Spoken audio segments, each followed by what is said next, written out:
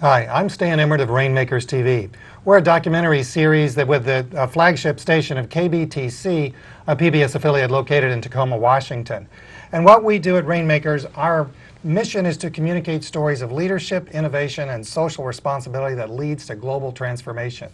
That means that we're going to be showcasing the heroic efforts made by impoverished people around the world who every single day they strive to lift themselves up out of their circumstances.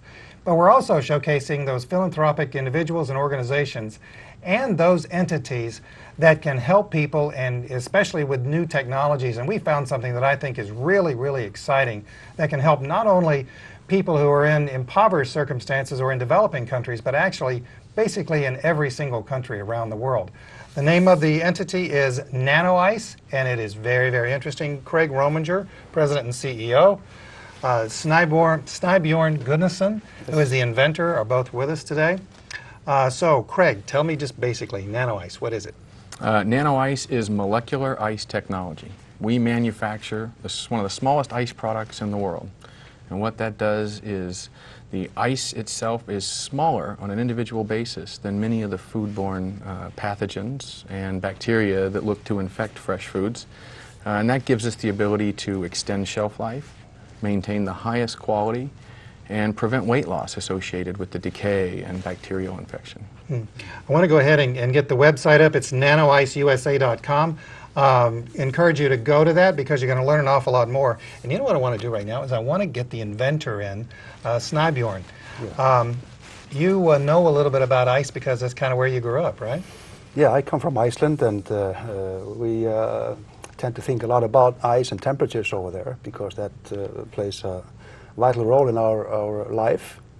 But uh, the, uh, the reason why I got into the, the uh, designing of, uh, of ice machines and focusing on the, the quality issues is because uh, not only in Iceland but uh, in other countries, people tend to compromise a bit on the quality side as a result of handling and temperature control and all, all these issues.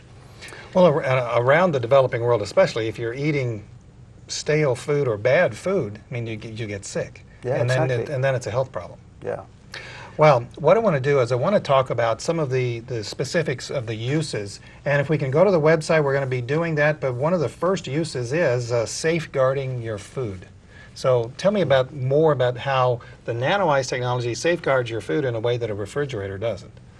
Uh, well, refrigerator's air cooling, which is really, you know, it's, it's interesting you bring that up because we've been refrigerating for over 100 years.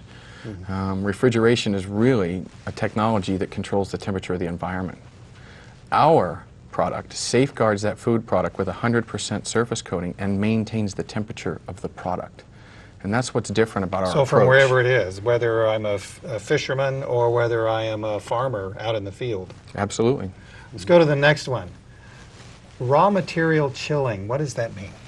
Uh, well, the chilling is the initial cool down phase before any meat, for example, can be processed and cut. There's a phase there where you need to cool it down. And so when we speak to that, we speak directly to that phase right after catch, mm-hmm. slaughter, or harvest, where the product needs to be cooled down to kind of stop the aging uh, and things along those lines. Snybjorn, um, you coming growing up essentially in the fishing industry where in, in Iceland it's, it's everything. Yeah. Um, what's the difference in this and flash freezing?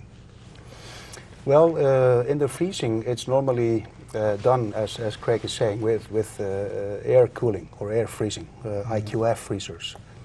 And uh, the higher the temperatures uh, you have in the product going into the freezers, the more moisture is going to create by the time it's up to or to, down to freezing level. What we're doing, we're actually preserving the natural juice in the product by cooling it a lot faster in a wet environment, so the moisture is not lost from the product. Mm-hmm. Plus, the freezer uh, capacity is boosted because we're already under zero degrees Celsius uh, by the time we go into the freezers. I want to go back to the website because I want to go uh, more on, on the attributes.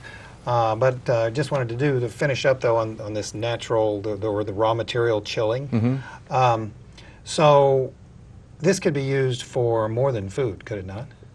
Absolutely. Uh, we're looking at uh, different things now. We're currently involved with a leading research institution uh, in the beginning of a trial to investigate whether or not we have efficacy in human organ and tissue preservation. Mm -hmm. Let's go to the next mm -hmm. use. Yield preservation. What does that mean?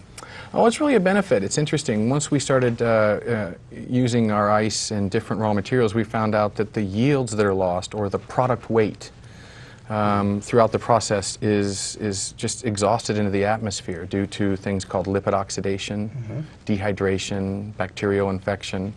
The weight of the product is reduced through the, the production process. We don't allow that to happen. So we've got two more attributes of it. Let's see, I believe. Let's go to the next one. Uh, and that next one is uh, nutrient and flavor retention. And I really get this because, uh, I mean, it seems to me that when I've got a, uh, a fresh piece of fruit, that, you know, it, it's very flavorful, but it doesn't take long before the flavor gets to be really bad.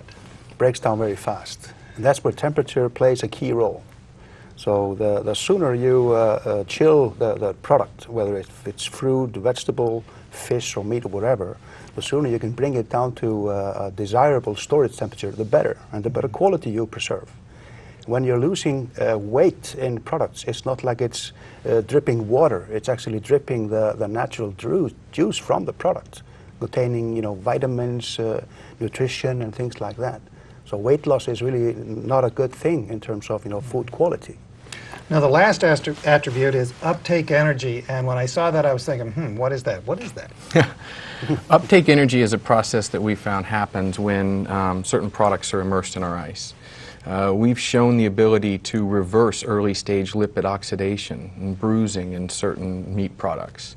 And that's really uptake energy. And what that is, is our ice provides an environment in which the aminos and triglycerides that are exhausted through lipid oxidation can actually be re upped into the meat or prevented from actually exhausting uh, from that meat. All right, well, let's, uh, let's go to some actual pictures here. And, you know, I warn you, these aren't the easiest things to look at, but it is the start of food. So, Snowbjorn, please tell us we're looking at a fish.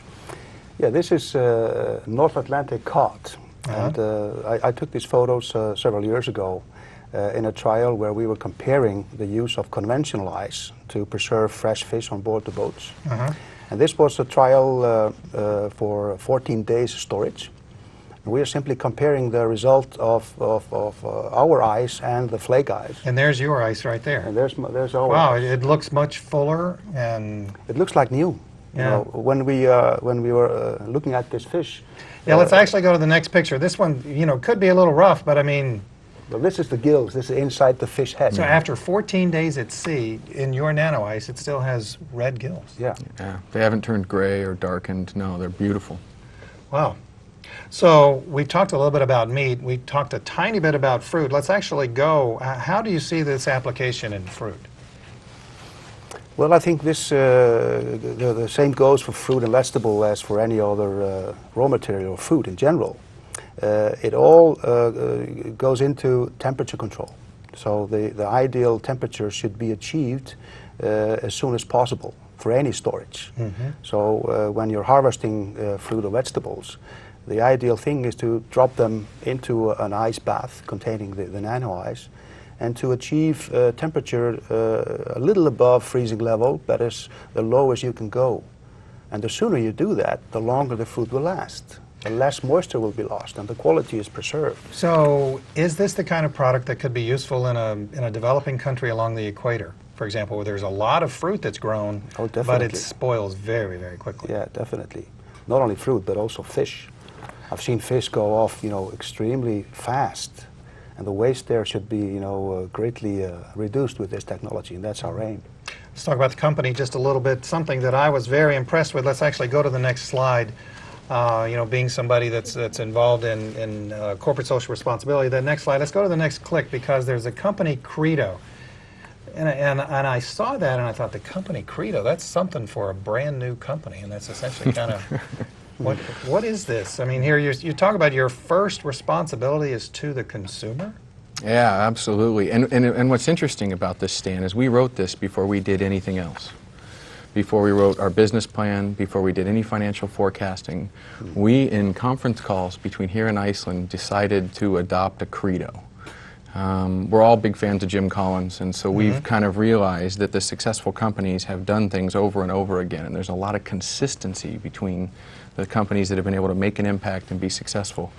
So your first responsibility to the consumer. The second responsibility is to your team members, your employees, and I guess and contractors. Mm-hmm. Your third responsibility is to the communities that where you live and work. And fourth, to your shareholders. Absolutely. And we feel like if we, we, we are responsible to our consumers, our team members, and our stakeholders before our shareholders, that they'll make a good profit as well. They're telling me it's time for us to wrap it up. Uh, Nano Ice as a company, where are you right now? Uh, we're in Seattle. Uh, we are selling. We've got 20 installations. Uh, at, uh, we're installing a uh, in the Pike Place Market, fish market, in uh, January, and that'll be our 20th installation worldwide. Uh, we're growing very quickly now, and uh, things are going great. Craig Snodbjorn, thank you very much for being with us. Thank you for I'm having Stan Emert of Rainmakers TV, and we're going to change the world through showing all those who are helping make it happen. Take care.